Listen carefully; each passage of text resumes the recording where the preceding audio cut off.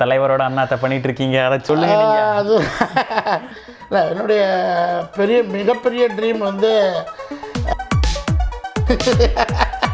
நீங்கள் கேட்குறது என்னமோ வேற மாதிரி கேட்குறீங்க அப்படியெல்லாம் கிடையாது. டிக்டாக் லக்கியா வந்து ஒரு ஒரு ஒரு சின்ன ஏஜ் உள்ள ஆர்டிஸ்ட்டு இல்லை ஒரு தவுள் வித்வானம் தூக்கிட்டு ஆடுற மாதிரியும் அந்த மாதிரி பண்ணலாம். ஜாலியாக என்டர்டைன்மெண்ட்டாக நடிக்கலாம். வணக்கம் இன்ட்ரோல் பிரேக் வியூவர்ஸ் நான் தான் உங்களோட விஜய் கார்த்திக். ஸோ இன்றைக்கி நம்ம ஷோவில் இணைஞ்சிருக்கக்கூடிய செலிப்ரிட்டி பார்த்திங்க அப்படின்னா எந்த ஒரு கேரக்டர் ரோல் கொடுத்தாலுமே கச்சிதமாக பண்ணி கொடுக்கக்கூடிய ஒரு கேரக்டர் அப்படின்னே சொல்லலாம். அது மட்டும் இல்லாமல் பார்த்தீங்கன்னா வந்து இவர் வந்து நிறைய திரைப்படங்களில் வந்து ஜட்ஜாக பார்த்துருப்பீங்க. நான் சொல்லும்போது ஏறத்தாழ யாரை நம்ம ஷோ கூட்டிகிட்டு வந்திருக்கோன்னு உங்களுக்கே தெரியும். ஏஎஸ் நம்மளுடைய டிஎஸ்ஆர் சார் தான் இருக்கார். அவர் வந்து இப்போ காந்தியம் திரைப்படத்தோட ஷூட்டிங் ரொம்ப பிஸியாக இருக்கார். கஷ்டப்பட்டு ஒரு சின்ன ஷெடியூல் வாங்கியிருக்கோம் அவர்கிட்ட. அவர் வெல்கம் பண்ணிடலாம். வணக்கம் சார் எப்படி இருக்கீங்க? வணக்கம் வணக்கம். நல்லா இருக்கு நான் உங்கள் டிஎஸ்ஆர் பேசுகிறேன் டண்டன் ஸ்டார் இன்ட்ரோல் பிரேக் நேயர்களுக்கு வணக்கம். அதாவது பார்த்தீங்கன்னா சார் இப்போ வந்து பிக் பேனர் படத்தில் தான் உங்களை அதிகமாக பார்க்க முடியுது. ஏன் சார் அது அப்படி? இல்லை அது பிக் பேனர் படத்தில் வந்து நான் நிறைய ஆஃபீஸஸ் போகிறேன் பிக் பேனர் ஆஃபீஸ் போடுறாங்க. அந்த ஆஃபீஸ் எல்லாம் கண்டிப்பாக கண்டுபிடிச்சிருவேன் எப்படியோ. அப்போ ஆஃபீஸ் போகும்போது இது க ஏதாவது ஒரு கேரக்டர் கம்பல்சரி வந்துடும் சின்ன கம்பெனி பட்ஜெட் கம்பெனி வந்து பெரிய லெவலில் ஆஃபீஸுக்கு செலவு பண்ணுறதில்ல அவங்க வந்து ஒரு குறிப்பிட்ட எல்லைக்குள்ள ப்ரொடியூசர்ஸ் இருக்கிறதுனால ஆஃபீஸ் எக்ஸ்பென்சஸ் வந்து ஒரு வருஷத்து ஒரு படத்துக்குன்னு இவ்வளோன்னு ஒரு அமௌண்ட் ஆகும். அதை சேவ் பண்ணி தான் படம் எடுக்கிறாங்க. அதனால் கான்டாக்டே கிடைக்கிறது ரொம்ப கஷ்டம்.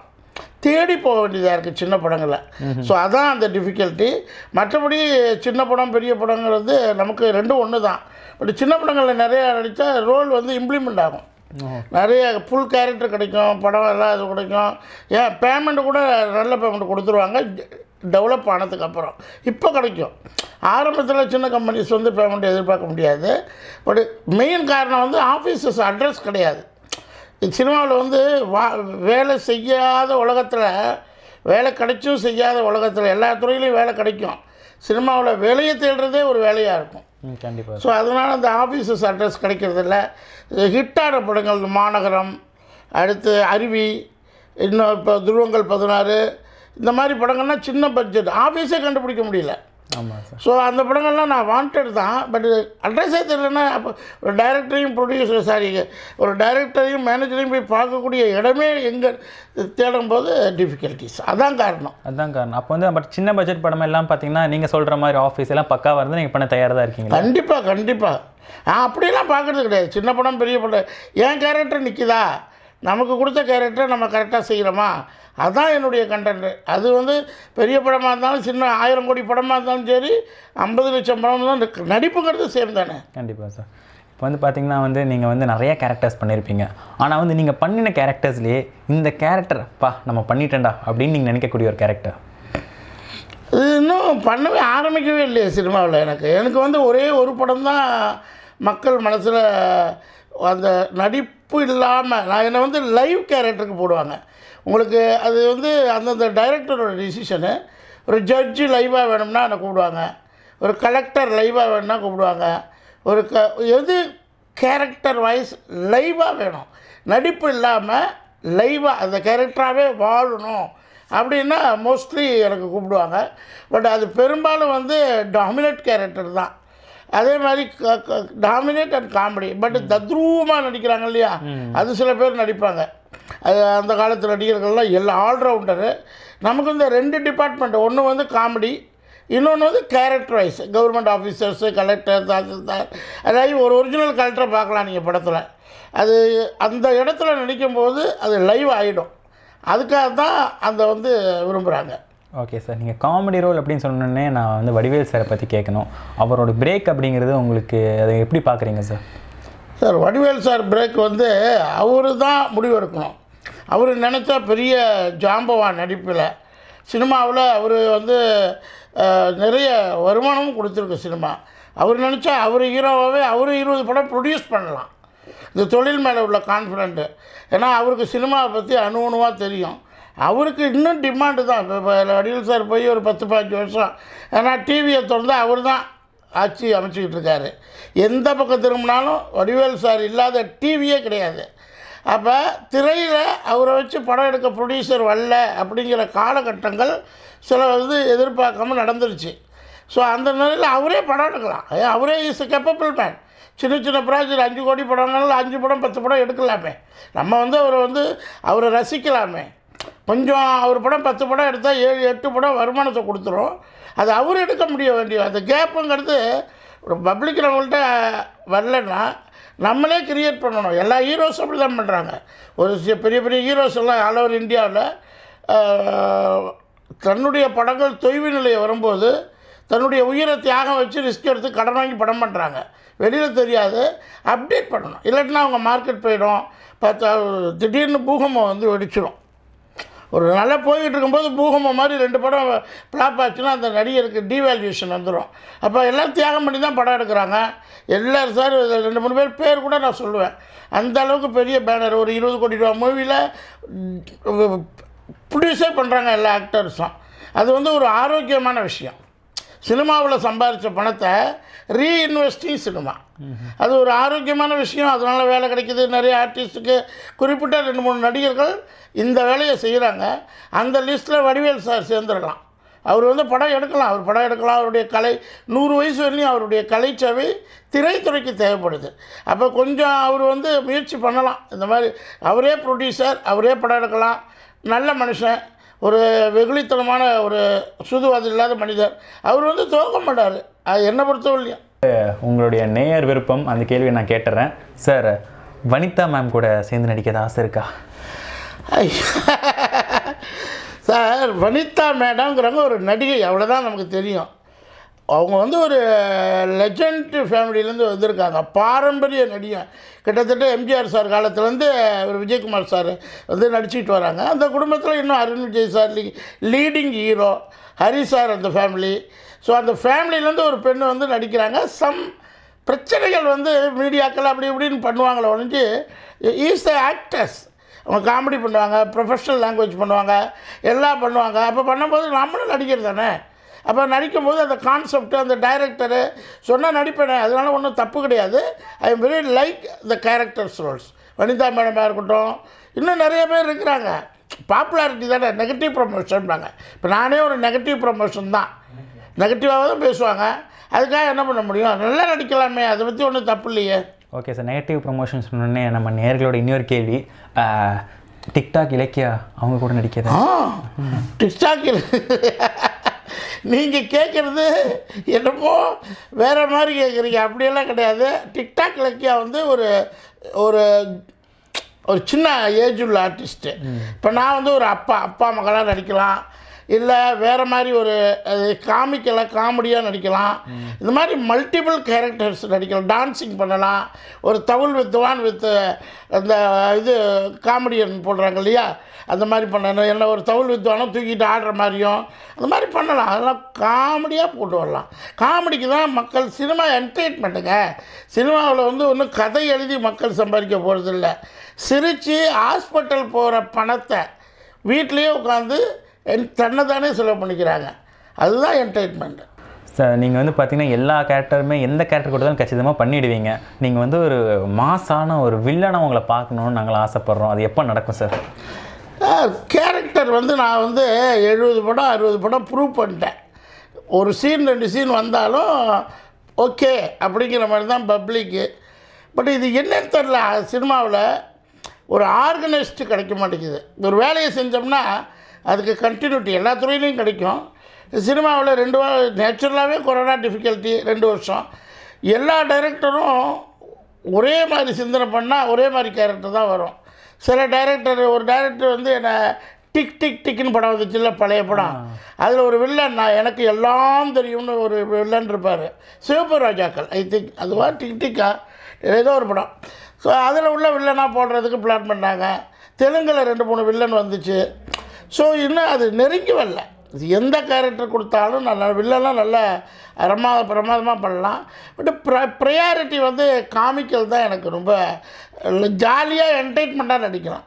ஓகே சார் உங்கள் கெட்டப்பை பார்க்கும்போது இன்னொரு கேள்வி எனக்கு ஞாபகம் வருது.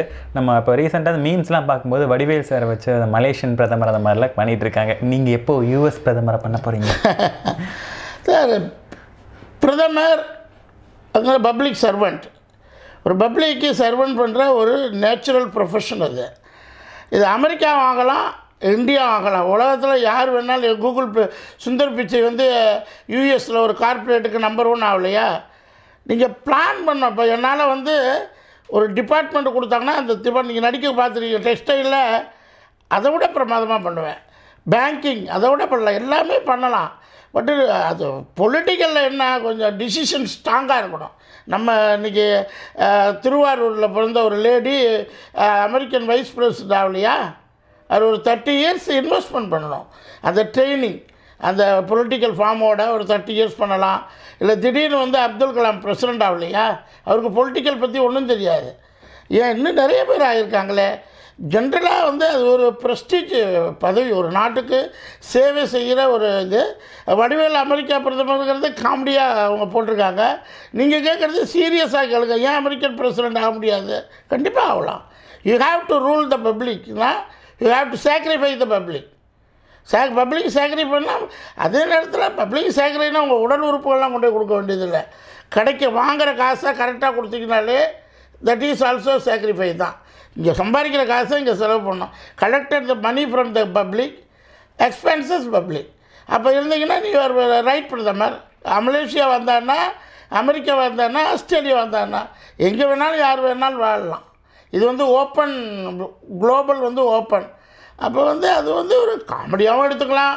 இல்லை சீரியஸ்னால் எனக்கெல்லாம் வரும். எனக்கு ஒரு பதவி கிடைச்சிது. திருப்பூரில் ஒரு ஒரு பத்து மினிஸ்டருக்குள்ள ஈக்குவல் பவர் எனக்கு உண்டு.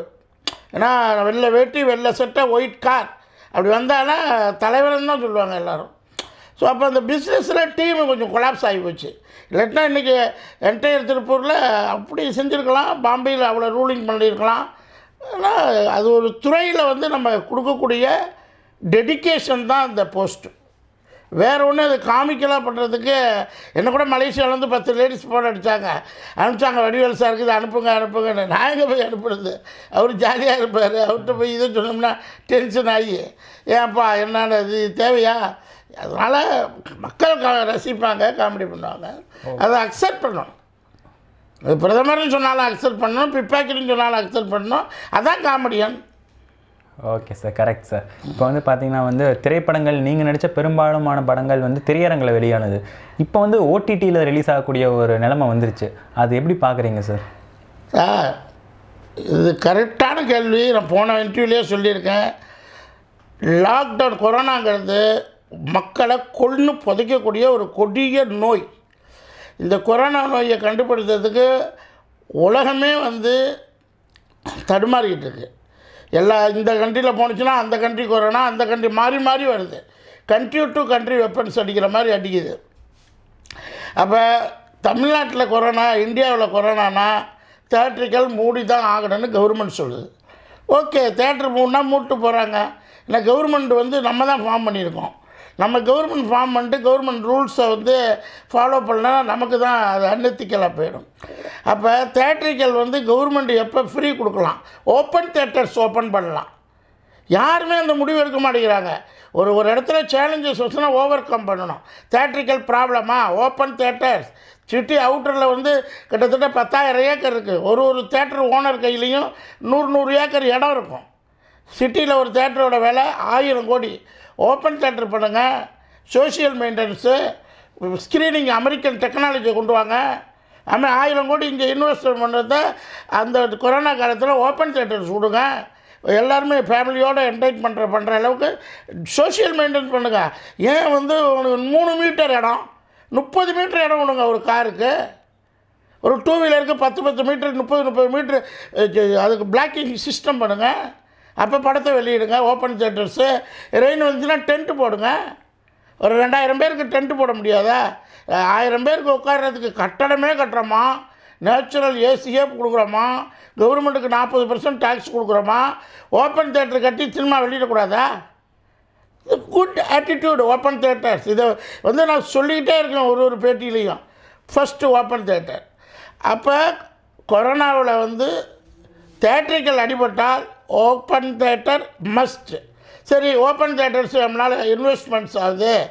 செய்ய முடியல கவர்மெண்ட்டை சப்சிடி கேளுங்க. கவர்மெண்ட்டுக்கு டேக்ஸ் கட்டுறீங்களா சினிமாக்காரங்க. அப்போ கவர்மெண்ட்டை பெனிஃபிட்டும் கேளுங்க ஓப்பன் தேட்டருக்கு ப்ராஜெக்ட் கொடுங்க. அதுக்கு ஒரு மினிஸ்ட்ரேட்டை கொடுங்க. கொடுக்கலாம் இல்லையா? ஒரு தமிழ்நாட்டுக்கு ஒரு ஒரு சிட்டிக்கு பத்து அஞ்சு தேட்டர் வச்சா கூட நீங்கள் மூவாயிரம் டென்ட் தேட்டர்ஸ் ஓப்பன் பண்ணலாமே. பெரிய பெரிய மேஜிக்ஸ் நடக்கலையா? பெரிய பெரிய Nandambakkam trade centre trade shows நடக்கலையா அதெல்லாம் பிஸ்னஸ்ஸு சினிமா மட்டும் பிஸ்னஸ் இல்லையா? You have to think open theatres first சரி அதுவும் முடியல. கொரோனா மெயின்டெனன்ஸ்னால் ஓப்பன் தேட்டரும் கட்டுறதுக்கு நம்மள்ட்ட ஃபண்டு கிடையாது. தமிழ்நாடு கவர்மெண்ட் ஃபண்டு இல்லைங்கிறாங்க. அப்போ ப்ரைவேட் பிஸ்னஸ்மேன் ஃபண்டு பண்ணால் கவர்மெண்ட்டுக்கு thirty to forty percent tax வரும். டிக்கெட்டில் டேக்ஸ் சோழப்பொரியா அது வேறு என்ன? பாப்கார்ன் டேக்ஸ் பெப்சி டேக்ஸ் அத்தனை இடத்துலையும் டேக்ஸ் வருதில்ல? அப்போ ஓப்பன் பண்ணி விடுங்க. கவர்மெண்ட்டுக்கு டேக்ஸ் தானே மெயினு ஸோ அன்டாக்ஸபிள் நான் டேக்ஸ் கட்டாத பிஸ்னஸை கட் பண்ணிவிட்டு டேக்ஸபிள் பிஸ்னஸுக்கு ப்ரையாரிட்டி கொடுங்க. இது ஒன்று ஓப்பன் தேட்டர்ஸ் அதுக்குன்னா எங்கள் நடிகர்கள் எல்லாரும் என்ன செய்யணும்னா ஒரு யூனிட்டி பண்ணணும். இருபது நடிகர்கள் எடுக்கக்கூடிய முடிவுங்க இது. வீக்லி வெள்ளி சனி ஞாயர் ஒரு பெரிய ஹீரோ இருபத்தஞ்சி கோடி ரூபா இல்லை முப்பது கோடி ரூபா படங்கள் கம்பல்சரி ரிலீஸ் ஆகணும். அப்போ ட்ரெண்டிங் வந்து ஹோம்லி லைக் பண்ணுவாங்க. Saturday Sunday enjoyment work from home plus work from இது ஆஃபீஸு ஒர்க்கு ஃப்ரம் ஆஃபீஸு அடிபட்டு போச்சு. இப்போ ஒர்க் ஃப்ரம் ஹோமில் அஞ்சு நாள் வந்து கண் போயிடும் சாஃப்ட்வேரில் கழுத்து போயிடும் இடுப்பு போயிடும். அப்போ அஞ்சு நாள் அதை உட்காந்து ரெண்டு நாள் என்டைட்மெண்ட் நல்லா படுத்துக்கிட்டே ஜாலியாக ஹோம் தேட்டரில் பண்ணுறதுக்கு நியூ நியூ மூவி நான் இப்போ திருப்பூரில் லேட்டஸ்ட்டாக ஒரு ஃபைவ் ஹண்ட்ரட் குரோர் அதிபரை கேட்குறேன் அவர் சொல்கிறாரு சார் நோ என்டைன்மெண்ட் நீங்களாவது சென்னையில் இருக்கீங்க மெரினா பீச்சும்பீங்க அப்படிம்பீங்க இப்படிங்க. நாங்களாம் திருப்பூரில் நோ என்டைன்மெண்ட் நான் பணத்தை சம்பாதிச்சு என்ன பண்ண போகிறேன் ஜஸ்ட் ஒரு two hours three hours entertainment இல்லை. பார்த்த மூவி எவ்வளோ நாள் பார்க்குறதுங்கிறாரு. ஸோ என்டைட்மெண்ட்டுக்கு நான் சொல்கிறேன் என்டைட்மெண்ட்டுக்கு ஃபஸ்ட்டு ப்ரியாரிட்டி கொடுத்த சிங்கப்பூர். என்டைட்மெண்ட்டுக்கு ப்ரியாரிட்டி கொடுத்த அமெரிக்கா ஹாலிவுட் எங்கே இருக்குது? நம்ம என்டைட்மெண்ட்டுக்கு இம்பார்ட்டன்ட் கொடுக்கலன்னா you have to go to the hospital sick and death back பண்ணி கொடுத்துருவான். அவ்வளோதான் சார் இப்போ ஹீரோயின்ஸ் எல்லாமே வந்து காமெடி ரோல் பண்ணுறதுங்கிறது கொஞ்சம் கஷ்டமான விஷயமா நான் பார்க்கப்படுது. ஒரு அப்போ இருந்து இப்போ வரையும். அப்படி இருந்தும் ஒரு சில நடிகைகள் வந்து அதை சேலஞ்ச் அக்செப்ட் பண்ணி அதை சக்ஸஸ் ஆகியிருக்காங்க அப்படி இருக்கும்போது நீங்கள் வந்து ஹீரோயின்ஸ் காமெடி ரோல் பண்ணுறதை வந்து எப்படி பார்க்குறீங்க? நடிக்கிறதுன்னு வந்தாச்சுன்னா ஹீரோ காமெடியன் அப்படிலாம் பிரிவு கிடையாது. நடிப்புங்கிறது ஒரு கலை. இப்போ ரஜினி சார் இருக்காருன்னா அவரை நீங்கள் ஹீரோன்னு சொல்லுவீங்களா காமெடின்னு சொல்லுவீங்களா? ஆல்ரவுண்டர் அவர். ஆல்ரவுண்டர்.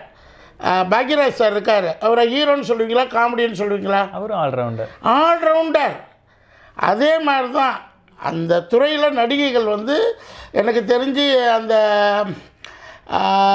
இப்போ கோவேஸ்வரில் அம்மா மட்டும்தான் அந்த ஆல்ரவுண்டர் கதாநாயகம் மற்றவங்க யாருமே அது ஆப்பர்ச்சுனிட்டி கிடைக்கணும். இப்போ எனக்குன்னா காமெடி கொடு போர்ஷன் கொடுத்தாங்கன்னு வச்சுங்க ஆர்டிஸ்டோட நல்லா பண்ணலாம் சிரித்து சி தேட்டரில் மக்கள் சிரிக்கணும். அது ஃபேமிலி காமெடியாக இருக்கலாம். மெயின் ஃபேமிலி ஒரு அப்பா அம்மா ஒரு மாமனார் மாமியார் ஏன் ஒரு கிழவன் கிழவி இப்போ எனக்கு எழுபது வயசு கிட்ட போட்டு இன்னொருத்தவங்களுக்கு அறுபத்தஞ்சு போட்டு விட்டு வீட்டில் நெய் நெய் நெய் நெய் நெய் நச்சரிக்கிற கேரக்டர் ஹஸ்பண்ட் ஒய்ஃப் இருக்கிற பெரிய கேரக்டர் ஸ்கிரிப்ட் ஸ்கிரிப்டுக்கு பஞ்சமே இல்லை இப்போ. ஒரு காலத்தில் தான் இந்த கதை எடுத்தாச்சு அந்த கதை எடுத்தாச்சு இந்த கதை. இப்போ மக்கள் நிகழ்வுகள் வந்து ஸ்கிரிப்ட் டெய்லி என்ன? சிரிப்பு. அது யூத்து ஏதாவது போட்டோ படம் போட்டால் ஏன் போட்டோ பட மாட்டேங்கிறாங்க? நான் நடித்த படமே ஒரு ஹீரோயின் படம் போட்டு அதை ஓப்பன் பண்ணதான் ஓப்பனே பண்ணுறாங்க யூத்து. அப்போ இந்த யூத்து ஓப்பன் பண்ணும்போது அவங்களுக்கு ஒரு காமிக்கலாக வேணும்னா நீங்கள் ஒவ்வொரு படத்துலையும் ஹீரோயின்ஸு இப்போ பிஸ்னஸ் இல்லைன்னா அவங்கள காமெடியில் மாற்றிக்கலாம் இப்போ இவங்க பேர் என்ன? கோயசர்லா மேடத்துக்கு முன்னாடி ஒருத்தவங்க வந்தாங்க. நல்லா காமிக்கல் பண்ணுவாங்க. நிறைய மனோரமா பண்ணியிருக்காங்க. மனோரமா பியூர் காமெடியன் கோயசர்லா நடிகையே சொல்கிறேன் அந்த காலத்தில் சச்சுவோ சம்திங் பேர். காயத்ரி ஜெயராம் காயத்ரி ஜெயராம் அவங்க எல்லாம் இப்போ இதான் சீரியல் போயிட்டாங்க. சீரியல் போனதுனால சினிமாவுக்கு வந்து காமெடி ஆக்டர்ஸ் இல்லை. காந்திமதி மேடம். காந்திமதி மேடம் நல்ல காமெடியன் இவ்வளோ சீரியஸு அடுத்து நிறைய பேர் இருக்கிறாங்க. இப்போ இருக்கிற நடிகைகள் எல்லாருமே காமன் சென்ஸான காமெடியை அவங்க அப்சர்வ் பண்ணிக்கிட்டு வந்துக்கணும். அதுதான் நான் நடிப்பேன். நான் வந்து இந்த கேரக்டர் நடிப்பேன் இது நடிக்க மாட்டேன். எந்த நடிகை என்ன கேரக்டர் எப்படி கொடுத்தாலும் மக்கள் ரசித்தால் அதுக்கு ஐஎம் த சர்வீஸ் செலிப்ரிட்டினா நான் மக்களுக்காக கொண்டாடப்படுபவர்கள். அப்போ மக்களுக்கு எது பிடிக்குதோ அதை செஞ்சுட்டு போக வேண்டியதுதான். ஓகே சார் இப்போ வந்து நம்ம பேசிகிட்டு இருந்தோம் கொஞ்சம் நேரத்துக்கு முன்னாடி இந்த மாதிரி திரையரங்கெல்லாம் மூடிட்டாங்க. எல்லாமே ஆன்லைனில் ரிலீஸ் ஆகிட்டு இருக்குன்னு. இப்படி இருக்கும்போது வந்து ஆக்டர்ஸோடைய வாழ்வாதாரம் ரொம்ப பாதிக்கப்பட்டிருக்கு சார் எப்படி பார்க்குறீங்க? ஆக்டர் வாழ்வாதாரம் ஒரு சமுதாயத்தின் எழுச்சி தான் ஒரு நடிகன். ஒரு நடிகன் உயிர் வாழ்ந்து அவன் நடிகனாகி அவன் சம்பாதிக்கணும்னா ஒன்று அவங்க ஃபேமிலி பேக்ரவுண்ட் இருக்கணும். இல்லாட்டினா அவர் தன்னைத்தானே தேவைப்படணும். இப்போ ஒரு கம்யூனிட்டி எடுத்தோம்னா அந்த கம்யூனிட்டியில் ஒன்று ரெண்டு பேர் தான் நடிகர் இருப்பாங்க. மினிஸ்டர் கூட நாலு பேர் அஞ்சு பேர் இருப்பாங்க. நடிகர் ஒன்று தான். இப்போ வடிவேல் இருக்காருன்னா ஒரு சமுதாயத்திலேருந்து அவர் கஷ்டப்பட்டு வந்தார். அந்த மாதிரி அன்றைக்கி சாப்பாடு கஷ்டம். எட்டு நாள் பட்டினி முப்பது நாள் பட்டினி குடல் சுருங்கி விரிஞ்ச காலங்கள் உண்டு சினிமாவில். அது யார் சொல்லியிருப்பாருன்னா சீமான் தான் சொல்லியிருப்பார். நான் சாப்பிட்ற அந்த அந்த உணவு வந்து பற்றாக்குறையினால குடல் அந்த மாதிரி இது ரெண்டு வருஷமாக சினிமா நடிகர்கள் மற்ற டிபார்ட்மெண்ட்டு கூட எனக்கு டெப்த்து தெரியாது. நடிகர்கள் குடல் சுருங்கி விரிஞ்சு விரிய விரியறதுக்கு இன்னும் டைம் இல்லை. ஒரு ஒரு மனிதனுடைய குடல் சுருங்கும் பார்த்தீங்களா அந்த மாதிரி இப்போ சுருங்கிக்கிட்டு இருக்கு கொரோனாவில். காரணம் என்னன்னா இதுக்கு வந்து பெரிய நடிகர்கள் முயற்சி பண்ணணும். இப்போ இதில் டாப் ஃபைவ் நடிகர்கள் தமிழில் முயற்சி பண்ணணும். ஒரு ஒரு நடிகருடைய குடல் சுருங்குது. அவன் கடனாகிறான். அவனுக்கு வேலை கிடைக்கல. அவனுக்கு நிரந்தர வேலை கிடைக்கல. நடிகர் பாருங்க உயிரை விட்டு நடிப்பான். தான் கால் துண்டா போனாலும் நடிப்பான். த தலை அடிபட்டாலும் நடிப்பான். தனக்கு ரத்தம் ஒட்டுனா கூட எல்லா ஹீரோக்கும் நடித்தோம் அஜித் சார் இது எவ்வளோ பெரிய பெரிய ஆப்ரேஷன்லேருந்து தப்பி வந்திருக்காரு விஜய் சார் என் கண்ணு முன்னாடி பார்க்குறேன் அப்படி கஷ்டப்பட்டு தான் வந்திருக்கிறாங்க. அப்போ இப்போ உள்ள நடிகர்கள் யாருமே 95% ஃபைவ் பர்சன்ட் எல்லாரும் வாழ்வாதாரம் பூவா இல்லை. அப்போ எல்லா திறமையும் வந்து இந்த துறையில் வந்து நம்ம வந்து மாட்டிக்கிட்டோன்னு சொல்லலாம். இந்த துறை வெளியிலேருந்து பார்க்கும்போது கோடி கோடி கோடின்னு இருக்கும். எவ்வளோ அது அழிகிறது எல்லா துறையிலையும். பிஸ்னஸ்மேன் அழிகிறாங்க எக்ஸப்ட் கவர்மெண்ட் ஸ்டாஃப் தவிர்த்து ப்ரைவேட் ஸ்டாஃபாக இருக்கட்டும் யாராக இருக்கட்டும் ஒரு துறை பட்டினியால் சாவுதுன்னா அது சினிமா துறை. இரண்டாண்டு காலங்கள் முடங்கி கிடக்கிறார்கள். பணம் வாங்க முடியாது வீடு வாடகை கட்ட முடியல சாப்பாட்டுக்கு வழி இல்லை நல்ல துணிமணி. பாருங்கள் சினிமா கலைஞர்களை போய் பாருங்கள் நடிகர்களை தாடி விட்டுக்கிட்டு கஷ்டப்பட்டுக்கிட்டு போலீஸ் டிபார்ட்மெண்ட் பார்க்கக்கூடிய ஒரு டிபார்ட்மெண்ட். சினிமாக்காரனா ஐயோ பாவம். அப்படின்னு சொல்லக்கூடிய ஒரு வேதனையை தாங்கிட்டு இருக்காங்க ரெண்டு வருஷமாக ஆனால் அதுலேயும் அஞ்சு பர்சன்ட் பீப்புள் நல்லா ஜொலிக்கும். இந்த துறை மேம்படுத்தப்படணும். அதுதான் காரணம். இந்த துறையினால தான் எல்லோரும் வந்திருக்கிறாங்க. ஆனால் இந்த துறை நசுங்கி நானும் வந்து இப்போ நசுங்கிட்டு இருக்கேன். நசுஞ்சு நொந்து நூறு சொல்லி சொல்ல முடியல. படமெங்க படமெங்க படமெங்கன்னு மக்கள் கேட்குறாங்க வெளியில் தலை காட்ட முடியல. ஒரு நடித்த படம் வரலன்னா மக்களுக்கு பதில் சொல்ல முடியல. இங்கே போய் வாய்ப்பு தரப்போம்னா கம்பெனியே இல்லை. ஒரு பத்து பர்சன்ட் இண்டஸ்ட்ரியலிஸ்ட் தான் இதுக்குள்ளே இருக்கிறாங்க. என்ன பண்ணுறது இப்படியா இப்படியா? என்ன ஒரு துர்க்கமான சூழ்நிலை நடிகர்களுக்கு? அதை வந்து ரெக்டிஃபை பண்ணுறது யார்? கவர்மெண்ட் தான் பண்ணணும். கவர்மெண்ட் இம்ப்ரூவ்மெண்ட் பண்ணணும். சிறு திரைத்துறையை வந்து ஒரு டிபார்ட்மெண்ட்டை வந்து எவ்வளோ பேர்? மூணு பேர் தான் கலைஞர் சார் ஜெயலலிதா அம்மா எம்ஜிஆர் சார். மூணு பேர் திரைத்துறைக்கு ஒரு சாதனையாக கொண்டு வந்தாங்கள்ல அந்த மூணு பேர் ஆட்சி தானே அறுபது ஆண்டு காலமாக நடக்குது. சினிமாக்காரங்க ஆட்சி தானே அறுபது ஆண்டு காலமாக நடக்குது. மாறி மாறி நடக்குது. ஆனால் துறை நசுக்கப்படுது. சாப்பாட்டுக்கே வழி இல்லாமல் செத்துக்கிட்டு இருக்கிறோமே. யார் கேட்பா சொல்லுங்கள் அது அந்த டாபிக் பேசுகிறேன்னா நான் வேறு மாதிரி போயிடுது அதனால தான் அந்த டாப்பிக்கு எல்லாம் இறைவன் செய்து விட்டுட்டு உட்கார வேண்டியதான் ஓகே சார். நம்ம நிறையா பேசிகிட்டு இருக்கோம். ஆனால் நான் வந்து உங்களை வந்து பத்திரிகைகளுக்கு நீங்கள் பேட்டி கொடுக்குறது நான் பார்த்ததே இல்லையே சார். அது ஏன்னு தெரிஞ்சுக்கலாமா? என்னன்னு தெரில பத்திரிகைகள் வந்து மீடியா சேனல்ஸ் யூடியூப் சேனல்ஸ் இந்த யூத்துகள் அதிகமாக இந்த செல்ஃபோன் யார் வச்சுருக்கிறா? நம்ம டச் ஃபோன் யார் வச்சுருக்கிறா? யங்ஸ்டர்ஸ் தான். யங்ஸ்டர்ஸ் அவங்களுக்கு தான் இந்த இண்டஸ்ட்ரி சர்வீஸ் பண்ணுது. டச் ஃபோன் வச்சுருக்கவங்களுக்கு என்ன தேவை? அப்போ மற்றவங்கலாம் படிக்காதவங்க யாருமே சினிமா பற்றி தெரியவே இல்லை. ஒரு காலத்தில் தினத்தந்திங்கிற பேப்பர் வாங்குறதுக்கு இன்றைக்கி தினத்தந்தி இல்லை ரெண்டு வருஷமாக அது தினத்தந்தியோட பேக்கை எடுத்துக்கிட்டால் சினிமா தான் இருக்கும். ஒன்று சினிமா சினிமா விளம்பரங்கள் அவ்வளோ இருக்கும். இப்போ அந்த பத்திரிகைகள் வந்து ஏன் கூப்பிட மாட்டேங்கிறாங்கன்னு தெரியல. நானும் எழுபது எண்பது பணம் எடுத்துட்டேன். ஒன்று ரெண்டு கூப்பிட்ருக்காங்க பட் கண்டினியூட்டி அவங்க. நீங்கள் இந்த வெப்பு துறை வர்ற மாதிரி இந்த டச் ஃபோன் துறை வர்ற மாதிரி டிஜிட்டல் வர்ற மாதிரி மீடியாஸ் வரல. நான் தேடி தேடியாக போக முடியும் பேட்டி கொடுக்க முடியும். என்னை வந்து கேட்டால் சினிமாவில் உள்ள விஷயங்களை நல்லது கெட்டதை சொல்லலாம் ஒரு துறையில் எட்டு வருஷமாக இருக்கேன் இப்போ. இப்போ அந்த துறையில் நெளிவு சுழுக்கள் எல்லாம் கிளாரிட்டியாக சொல்ல முடியும். என்னாலும் இந்த துறையில் வந்து சில விஷயங்களை சாதிக்க முடியும். அந்த அதுக்காக வெயிட்டிங் நீங்கள் வந்து டெக்ஸ்டைல் துறையில் வந்து ஒரு புரட்சி ஏற்படுத்தியிருக்கீங்க அதை பற்றி சொல்ல முடியுமா? ஆமாம் புரட்சி. இது ஒரு நாற்பது நாடுகளோட காம்படேட் பண்ணுவேன். சைனா பெரிய வல்லரசு நாடு டெக்ஸ்டைல் துறையில். உலகத்தில் நாற்பது நாட்டை எதிர்த்து நூறுரூவா பொருளை முப்பது ரூபாய்க்கு தயார் பண்ணுவேன். நூறுரூவா பொருள் எனக்கு காம்படேட்டரே கிடையாது இந்த உலகத்தில் டெக்ஸ்டைலில் அந்த மாதிரி ராஜதந்திர வேலைகள்லாம் பண்ணுவேன். அப்படி பண்ண பண்ணும்போது நூறுரூவா பொருளை முப்பது ரூபாய்க்கு செய்ய வச்சேன். ஒரு நாலே மல்டி மில்லியனரை கூப்பிட்டு. பதினஞ்சு கோடி ரூபா ஆர்டர் எல்லாம் சக்ஸஸ் எப்படி பண்ண முடியும்? நூறுரூவா பொருளை இப்பையும் என்னை கண்டாலே ஏதோ சம் டெக்னாலஜி இருக்குன்னு வருவாங்க. ஆனால் சக்ஸஸ் ஃபெயிலியரே கிடையாது. எனக்கு வந்து ஆரம்பத்தில் தான் பெரியதை. அந்த புரட்சி பண்ணேன். நூறுரூவா பொருளை முப்பது ரூபாய்க்கு எடுக்கிறது. அந்த முப்பது ரூபாய்க்கு எடுக்கிறது எத்தனை கண்ட்ரியை ஓவர் கட்டுறது? இன்றைக்கி பதினஞ்சு இருபது கண்ட்ரியை ஓவர்டேக் பண்ண முடியும் என்னால். ஒரு தமிழனா தமிழ்நாட்டில் இருந்துக்கிட்டு வல்லரசு நாடுகளை போட்டி போட்டிருக்கேன் China infrastructure Argentina Vietnam Turkey Cambodia top manufacturing கண்ட்ரிஸை overtake பண்ணி வித்தவுட் ஃபைனான்ஸ் ஒரு பாம்பே மார்வாடியை வச்சு தான் ஃபைனான்ஸ் எடுத்தேன். பணமும் இல்லை. ஒரு நுண்டி குதிரை மாதிரி எடுத்து அதை சர்வீஸ் பண்ணேன் அந்த நூறுரூவா பொருளை முப்பது ரூபாய்க்கு பண்ணதுனால இன்றைக்கி மூணு நாலு லட்சம் குடும்பம் பசி பஞ்சம் பட்டினி இல்லாமல் அந்த துறையில் வாழ்கிறாங்க லேபர் இல்லை. நூறுரூவா பொருள் தயாரிக்கும் போது லேபர் இருந்துச்சு. இப்போ முப்பது ரூபா இருக்கும்போது வேலைகள் லாபம் கொளுத்த லாபம். சம் டெக்னாலஜி இதெல்லாம் உலக நாடுகளில் அனுபவத்தில் ஒரு புரட்சி வந்துச்சு. அந்த புரட்சியை சப்ஸ்டைன் பண்ணுறதுக்குள்ளே அது லுதியானா தட்டிட்டு போயிடுச்சு. திருப்பூருக்கு வந்த வாழ்வு இன்றைக்கி எயிட்டி பெர்சன்ட் லுதியானாக்கு போயிடுச்சு.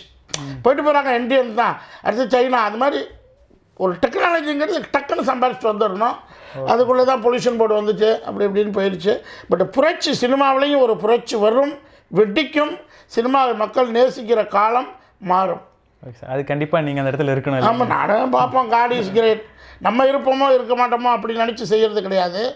நம்ம செய்கிறத செஞ்சுக்கிட்டு இருக்கோம் நடக்கிறது நடக்கட்டும். ஓகே சார் இப்போ வந்து உங்களோட அப்கமிங் ப்ராஜெக்ட்ஸ் தலைவரோட அண்ணாத்த பண்ணிட்டு இருக்கீங்க. அதை சொல்லுங்க அது இல்லை என்னுடைய பெரிய மிகப்பெரிய ட்ரீம் வந்து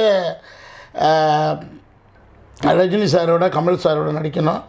பட் அது வந்து வாய்ப்பு வந்து ரஜினி சார்ட்ட வந்துச்சு. வந்து ஒரு நாலஞ்சு வருஷத்தில் வந்துருச்சு.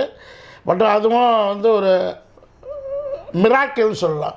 ஒரு இவ்வளோ பெரிய இப்போ ஜாம்பாவனோட ஒரு நல்ல comical madam lady super star அடுத்து தலைவர் அடுத்து நான் அந்த ஒரு காம்பினேஷனில் ஒரு டைரக்டர் நல்ல ஒரு ஷாட்டு அது படம் வரட்டும் பிரம்மாண்டமான கதை அண்ணாத்த கதையெல்லாம் பெரிய பெரிய அது அது. அதை எடுக்கிறதுக்கே ஒரு எபிசோடு மூணு நாள் வைக்கணும் Annaatthe one Annaatthe two Annaatthe three அப்படி கொண்டு போகலாம் அதை. அவ்வளோ பெரிய டெடிகேஷன் இந்த டைரக்டர் பண்ணியிருக்காரு. அதெல்லாம் பார்க்க வேண்டிய படம். இன்றைக்கி சமுதாயத்துடைய விழிப்புணர்வு உள்ள படம் அண்ணாத்தை. சார் தலைவர் வந்து பர்சனலாக பேசி அவர் வந்து ஹெல்த் வைஸ் சின்சியாரிட்டி இந்த கொரோனா டயத்தில் அவர் அதை மெயின்டைன் பண்ணார். பேர் சொல்லி கூப்பிட்ற அளவுக்கு நான் ஒரு ரெண்டு மூணு நாள் தான் நாலு நாள் தான் நடித்தேன். என்னை பேர் சொல்லி கூப்பிட்ற அளவுக்கு சீனிவாசன் அப்படிங்கிற அளவுக்கு மைண்ட்லையும் இடத்துலையும் நல்ல ஒரு மனிதர். ஒரு- ஒரு ஒரு அர்ப்பணிப்பு உள்ள ஒரு நடிகர். ஓகே சார் எவ்வளோ நாள் ஷெட்யூல் இருந்துச்சு சார் தலைவர் கூட உங்களால் ஸ்பெண்ட் பண்ண நாலு நாள் ஃபுல்லாக இருந்தேன். ஃபுல்லு கிட்டத்தட்ட ஹாப்பி ஒரு மாபெரும் லெஜண்டோட ஒரு சின்ன எனக்கு சின்ன பாட்டு கிடைச்சாலே வெரி ஹாப்பி அதுலேயும் நான் very happy Annaatthe. Okay sir அவருடைய இந்த அரசியல் பயணம் அது எப்படி அது அவர் டிசைட் பண்ணணும். அது வந்து ஒருவருடைய தனி இப்போ என்னுடைய அரசியல் பண்ணது நான் தான் பண்ணணும். அவருக்கு அவர் தான் பண்ணணும். அவர் வந்து அவர் செய்கிறது அவருடைய டிசிஷன் அது. இந்த நம்ம ஸ்பாட்டை பற்றி பேசுவோம். காந்தியம் படத்தில் ஷூட்டிங் போயிட்டு இருக்குது நம்ம நடுவில் தான் இன்டர்வியூ அஹ், காந்தியம் படம் எப்படி போயிட்டு இருக்கு ஸோ காந்தியும் ஒரு ஸ்மால் மூவி பட்ஜெட் ஒரு தனி டீமோட முயற்சி சின்ன பட்ஜெட் இவங்கெல்லாம் வளர்ந்தால் தான் நாளைக்கு சினிமா ஆரோக்கியமாக இருக்கும்.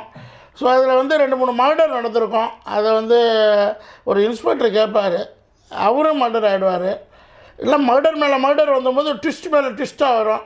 அந்த ட்விஸ்ட்டு எப்படிங்கும்போது தான் ரெண்டரை மணி நேரம் படத்தில் உட்காரும்போது தெரியும். ஒரு கதைன்னா அதுக்கு ட்விஸ்ட் இருக்கணும். அது விக்ரமாதித்தன் கதைகள் மாதிரி ட்விஸ்ட் இருக்கணும். அது மாதிரி ஒரு க்ரைம் அண்ட் த்ரில்லர் படம். அது மிஸ்டர் லிங்கா டைரக்ட் பண்ணுறாரு அது எல்லாமே EP mister executive producer mister Manikandan. அவர் மூலியமாக தான் எனக்கு இந்த படம்.